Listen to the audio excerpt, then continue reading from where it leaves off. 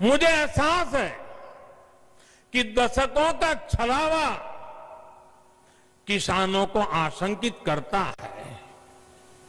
किसानों का दोष नहीं है। लेकिन मैं देशवासियों को कहना चाहता हूँ, मैं मेरे किसान भाई बहनों को कहना चाहता हूँ और माँ गंगा के घाट पर से कहना चाहता हूँ, काशी जैसी पवित्र नगरी से कह रहा हूँ।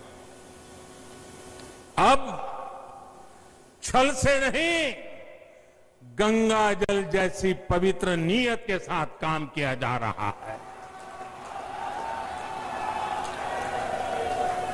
भाई और बहनों, आशंकाओं के आधार पर भ्रम फैलाने वालों की सच्चाई लगातार देश के सामने आ रही है।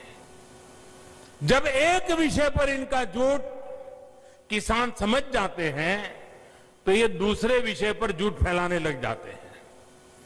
24 फोर बाय सेवन उनका यही काम है।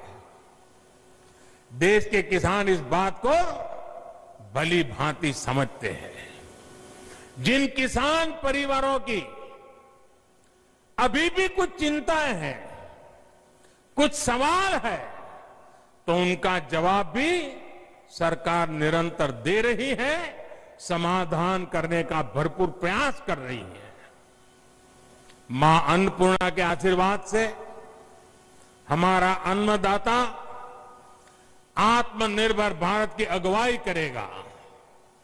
मुझे विश्वास है, आज जिन किसानों को कृषि सुधारों पर कुछ शंकाएँ हैं, वो भी भविष्य में इन कृषि सुधारों का लाभ उठाकर अपनी आय बढ़ाएँगे, ये मेरा पक्का विश्वास है।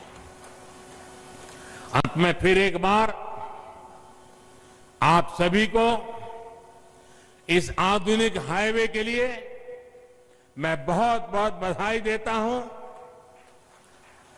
काशी का रूप और स्वरूप यूँ ही भव्य बनता रहे।